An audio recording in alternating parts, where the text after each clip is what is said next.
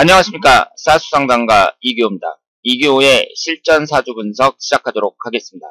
오늘 실전 사주 분석 주인공은 전 프로야구 출신인 양준혁 씨가 되겠습니다. 양준혁 선수는 우리나라 프로야구를 대표하는 레전드 출신이다. 이렇게 말씀을 드릴 수가 있고요. 우리나라 프로야구 역사가 수십 년이 됐는데 이 중에서 타자 출신으로 뽑는다면 그래도 열 손가락 안에는 들어가는 선수가 아닌가 이렇게 생각을 합니다. 얼마 전까지 최다 안타를 보유하고 있던 선수고요. 박용택 선수가 이 양준혁 선수의 기록을 깼죠.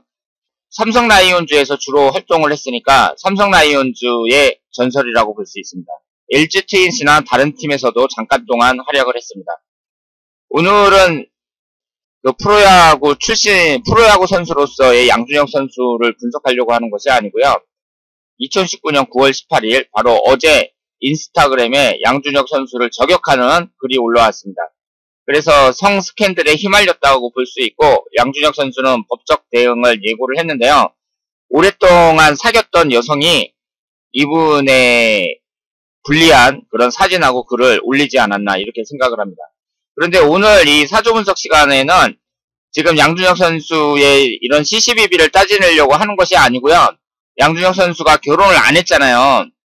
지금 69년생이란 말이에요. 올해 51세인데 아직까지 결혼을 안 했습니다. 그러면 양준혁 선수를 예로 들면서 결혼하지 않은 남자의 특징 이것을 살펴보도록 하겠습니다. 지금 여기에 있는 것이 양준혁 선수의 3주인데요. 양준혁 선수가 결혼하지 않는 남자의 그 사주 특징을 그대로 갖고 있습니다. 그래서 여러분들과 함께 분석해 볼 가치가 있다. 이렇게 생각을 해서 오늘 양준혁 선수를 주인공으로 했습니다. 그러면 양 선수의 사주를 한번 보도록 하겠습니다. 이분이 기유년 신미월 병수일 이렇게 되어 있어요. 지금 이 오행의 구성을 보면 목기운이 없고요. 화기운이 하나, 토기운이 셋, 금기운이 둘, 수기운이 없습니다. 지금 지지에 보시면은요. 술토하고 미토가 있잖아요. 이것이 화개살입니다. 월지 포함해서 두 개가 화개살이에요. 제가 화개살을 설명을 드릴 때 예술적인 감수성이 뛰어나다. 예체능적인 특징이 있다. 이런 말씀을 드렸는데요. 여러분들이 연예인들을 잘 보시면 도화살이 강합니다. 그런데 운동선수를 잘 보잖아요. 화개살이 강해요. 그런데 이 운동선수라는 것은 아무나 할 수 있는 게 아니잖아요. 그 사람이 우선 체력적인 조건이 좋아야 되고 운동신경도 뛰어나야 되잖아요. 양준혁 선수 같은 경우는 키가 188cm로 나와 있습니다. 엄청나게 큰 거죠. 그리고 저하고 나이가 동갑인데 그 당시에 188cm면 엄청난 거구다 이렇게 볼 수가 있습니다. 그래서 이제 체력 조건도 좋고 그러니까 이렇게 운동선수가 됐는데 이렇게 체력 조건이라든가 운동신경이라든가 이런 게 받쳐주는 사람들 이런 사람들 중에서 화개살이 강한 사람들이 많다 이렇게 말씀을 드릴 수 있습니다. 그래서 운동선수 중에 많습니다. 우리가 이제 사주를 분석을 할 때에는요 오행의 구성을 보고 뭐 목기운이 많으냐 없느냐 화기운이 많으냐 없느냐 뭐 이런 걸 따져야 되는데 지금 이 사주에서는 토기운이 많잖아요. 오행의 상생상극 관계를 잘 보셔야 돼요. 토기운이 식신상관운에 해당이 되거든요. 토기운이 뭘 극하죠? 수기운을 극합니다. 토국수로 수기운을 극해요. 그런데 지금 보시는 것처럼 이 사주에는 수기운이 없습니다. 그리고 지장간에 보시면은요, 지장간에도 수기운이 없어요. 그러면 흘러가는 대운을 볼까요? 대운에서도요, 60대 이후에 수기운이 들어옵니다. 그러면 60 전까지는 뭐예요? 수기운이 하나도 없다는 얘기예요. 그러니까 인생 전반에 걸쳐서 양준혁 선수는 수기운이 대단히 약하다. 그러니까 이 사주는 수기운이 아주 씨가 말랐다. 이렇게 볼 수가 있죠. 그렇지 않아도 수기운이 없는데 월지 포함해서 3개나 되는 토기운이 수기운을 극한다 그랬, 그랬잖아요. 수기운이 더더욱 힘을 못 쓰는 거죠. 그러면 여기에서 수기운이 뭐예요? 관성운이잖아요. 관성운. 관성운이 뭐예요? 육친관계에서 자식을 나타냅니다. 우리가 흔히 생각하기를 남자가 결혼을 한다 못한다 노총각으로 계속 산다 이런 걸 얘기할 때 여자운을 보잖아요. 결혼이라는 건 여자랑 하는 거니까 여기에 보시면 여자를 나타내는 금기운이 두 개가 있습니다. 신금이 있고 유금이 있어요. 하나는 병신합이 돼요. 그리고 또 하나는 유금이 이렇게 있습니다. 그러면 이 사주를 봤을 때 여자가 두 명이나 있으니까 충분히 결혼하는 거 아니냐 이렇게 생각을 할 수가 있는데요. 이 사주에 나와 있는 재성우는 꼭 법적인 결혼을 하는 여자가 나와 있는 게 아닙니다. 나, 내 인생에서 인연이 깊은 여자가 나와 있다고 보시면 돼요. 따라서 꼭 결혼을 안 한 사람이라고 하더라도 사주에는 재성운이 많을 수 있죠. 양준혁 선수가 프로야구 스타고 그런데 또 운동선수들은 미인을 좋아하잖아요. 여자를 안 사귀겠냐고요. 지금까지 미혼이지만. 미혼이기만 하지 여자를 계속 만나, 만났겠죠. 그리고 이렇게 유명 선수들은 자기가 이제 즐기느라고 결혼을 안 하는 경우도 많이 있다. 이렇게 볼 수 있습니다. 그러니까 양준혁 선수가 결혼을 안 했다 그래서 여자가 없다. 이렇게 생각하는 사람은 없을 테고요. 그런데 중요한 건 자식운이 너무 약하다는 얘기예요. 자식운이 약하다는 건 다른 차원입니다. 사람들이 결혼을 안, 한 사, 안 하는 사람들을 보면은요, 여자운이 약한 게 아니라 자식운이 약한 사람들이 대단히 많습니다. 자식운이 없다는 얘기는 뭐예요? 결혼을 해갖고 애가 안 생긴다. 뭐 이런 경우도 있겠죠. 그런데 건, 건강한 사람들이 만나면 애가 왜 안 생기겠어요? 그리고 결혼을 했는데 아이를 낳는데 애가 말을 잘 안 듣는다. 말을 잘 안 듣는 경우는 어렸을 때 아이랑 잘 친하게 놀아주지 않으니까 아이가 이제 아빠를 갖다가 싫어하는 경우가 많습니다. 그런데 가장 많은 경우는 뭐냐면요. 아예 결혼을 안 하는 거예요. 결혼을 안 하니까 애, 당연히 애를 안 낳는 거죠. 그래서 우리가 사회에서 볼 때 결혼을 안 하는 직업이 뭐가 있죠? 천주교 신부, 불교의 스님들 결혼을 안 하잖아요. 이분들 사주를 한번 보세요. 관성운이 약한 경우가 상당히 많습니다.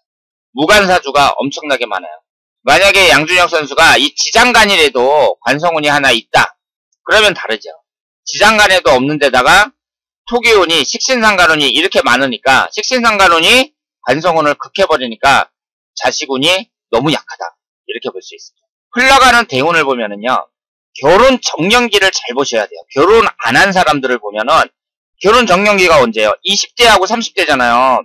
그러면 이 사람이 20대하고 30대에 뭐 했냐 이걸 보셔야 되는데 양준혁 선수는 운동선수란 말이에요. 운동선수는 결혼을 좀 일찍 합니다. 그리고 69년생이면 이분이 결혼할 때에는요. 대부분 20대에 결혼을 했어요. 그런데 잘 보세요. 11살서부터 20살까지 기사대원. 이때는 결혼하는 시기라고 보기는 어렵지만 10대 후반 정도의 이성을 많이 만날 수도 있겠죠. 이때 사술 원진살이었고 21살서부터 30살 이것이 치명타라고 볼 수 있죠. 진술충으로 깨지면서 청간지지가 다토기운만 들어옵니다. 20대 운에 이성운이 너무 안 좋았다는 거 이것이 치명타라고 볼 수 있어요. 지금 위아래로 토기운이 들어오니까 식신상간운이 월치포하면서 3개나 되는데 토기운이 첫 번째 기신운이라고 볼 수 있는데 20대에 위아래로 토기운만 들어와요. 따라서 토기운이 너무 강해지니까 그만큼 관성운을 극하는 거죠. 그러면서 진술충으로 배우자궁이 정확하게 깨지고 있습니다. 20대에 너무 안 좋은 운이 들어왔다는 거.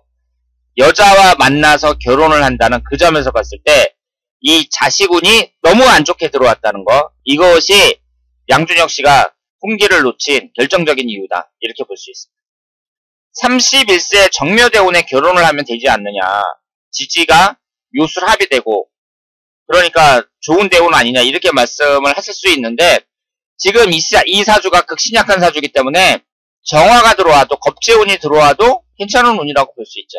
30대에 결혼을 할 수 있었는데 안 했다. 이렇게 볼 수 있습니다. 올해부터 을축대운이 시작이 되거든요. 을축대운이 어떤 대운이냐? 축술 및 삼형살에 해당이 됩니다. 지지에 술토하고 미토가 있으니까 축토가 들어올 때 가장 안 좋다고 봐야 돼요.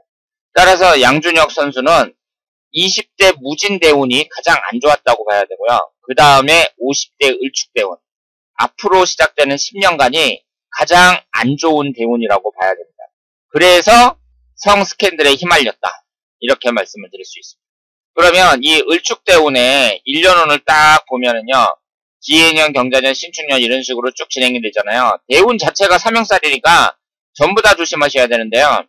올해 이런 일이 발생했지만 53세 신축년 같은 경우 이때는 1년운도 축술미 삼형살이니까 당연히 조심하셔야 되고 그리고 54세 이민년 같은 경우도 천간이 충하는 때니까 조심하셔야 되고 56세 갑진년도 그렇고 조심해야 될 때가 많다. 이렇게 말씀을 드릴 수 있겠습니다.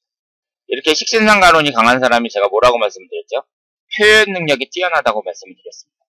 따라서 양준혁 선수가 운동선수면서도 말을 잘하죠. 그래서 오락 프로그램에도 많이 출연을 했어요. 그래서 재능이 많은 선수다. 이렇게 말씀을 드릴 수 있습니다. 여기에 나와 있는 게 월운인데요. 월운을 봤을 때는 언제가 가장 안 좋겠어요? 당연히 1월달이 안 좋다고 봐야죠. 축술 및 삼형살의 형성이 되는 1월달하고 지지가 충하는 4월달, 1월달하고 4월달이 양준혁 선수에게 가장 안 좋은 달이다. 이렇게 말씀을 드릴 수 있겠습니다. 그래서 오늘 결혼을 안 하는 남자의 특징에 대해서 양준혁 선수의 예를 들어서 분석을 해봤는데요. 여자 운이 약한 게 아니라 자식 운이 약한 거예요. 자식 운이 약한 사람들이 결혼을 안 하는 경우가 많다. 뭐 이 여자 저 여자 만나고 뭐 동거를 할 수도 있겠죠. 그런데 결혼을 안, 안 하는 거예요. 여자를 만나다가 뭐 여자가 뭐 임신이 된다든가 오랫동안 사귀었으면 양준혁 선수하고 뭐 10년을 사귀었다니 다느니 뭐 이런 소문이 있거든요. 지금 이 글을 사진을 올린 사람이 그러니까 상당히 오래 사귀었는데 그렇게 오래 사귀었으면 아이가 임신이 된다든가 그러면 남자가 어떻게 해요? 뭐 결혼해야지. 그러니까 상당수의 남자들은 자기가 이제 여자를 사귀다 보면은 원하지 않게 임신이 돼가지고 결혼하는 경우도 많은데 양준혁 선수는 그런 것도 없다는 거죠. 사주를 봤을 때 자식운이 너무 약하다. 그래서 지금까지 혼자 살고 있다. 이렇게 말씀을 드릴 수 있겠습니다. 그러면 이 사주는 목화가 용신이라고 봐야 되고요. 지금 40대, 30대 뭐 이럴 때가 좋은 대운이었다. 이렇게 볼 수 있고 어쨌든 앞으로 이제 10년간 을축대운이 시작이 되는데 삼형살의 형성이 되기 때문에 양준혁 선수가 여러 가지 점에서 주의를 해야 되는 대운이다. 이렇게 말씀을 드릴 수 있겠습니다. 자 그러면 오늘 이기호의 실전사주 분석 주인공은 양준혁 전 프로야구 선수였습니다. 대단히 감사합니다.